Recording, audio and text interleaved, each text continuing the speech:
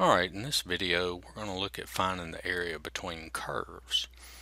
Alright, so let's just take a look at some examples. Uh, I've got this example here. I'm going to, uh, I've got several examples I'm going to work. I'll probably just do uh,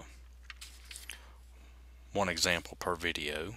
Uh, so uh, if you want to see the other examples you can check out the other videos. They should be right there close to this one. Alright, so this first example, it says find the area of the region bounded by the graphs uh,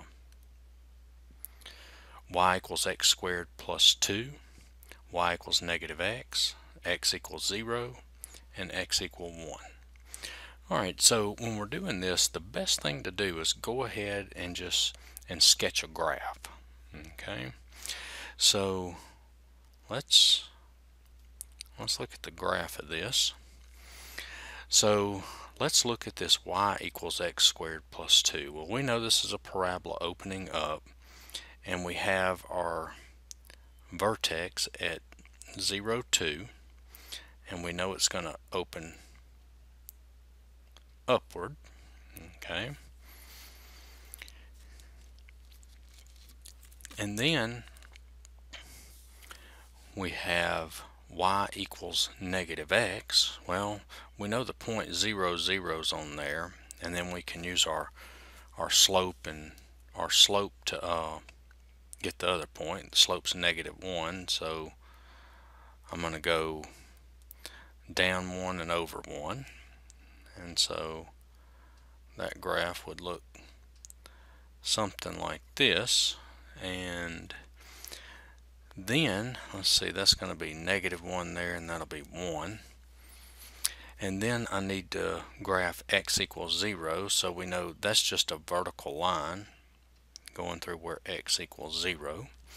And then I have uh, the graph x equal 1, and that's a vertical line going through where x equal 1.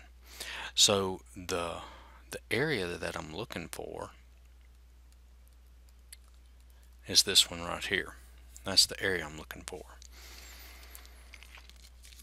So I need to get my limits of integration. So my limits, you can see I'm going to integrate from 0 to 1. Okay, from, from here to here. Now to do the to uh, get the area, the area is going to equal and I'm integrating from 0 to 1. It's this curve, okay, this curve minus this curve. So that's going to be x squared plus 2 minus, okay, that's this curve, minus this curve, so minus negative x. And I'm integrating that with respect to x. And so this is going to give me 0 to 1 x squared plus x plus 2 dx. Okay, now the minus and minus is a plus, and so that's where I get the plus x from. Alright, and so now we're ready to integrate. So this is going to be 1 third x cubed plus 1 half x plus 2x and I'm going to evaluate that from 0 to 1. So plugging that in, I'm going to plug the 1 in. So this is going to be 1 third times 1 cubed plus 1 half times, nope, I'm sorry, that should be x squared. So that's going to be 1 half times 1 squared plus 2 times 1 minus, and when I plug 0 in for x, that's just going to be 0 back here. But I'll go ahead and plug it in so you can see it. Plus 1 half times 0 squared plus 2 times 0. Okay. Alright, and then we'll just evaluate this and when I evaluate that I get 17 over 6 and there's my answer.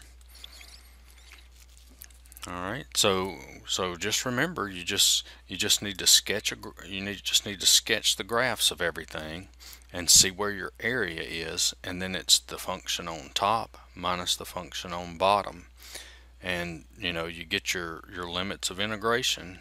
Here they were zero and one okay? And you know some of the some of the other problems is going to be a little bit different how you get your limits of integration.